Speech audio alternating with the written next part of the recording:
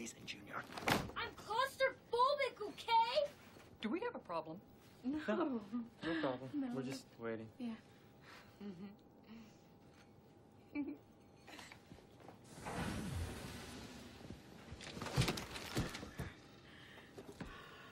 Mexican food.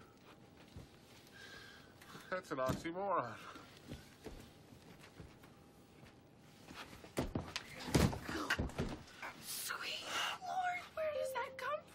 Let's just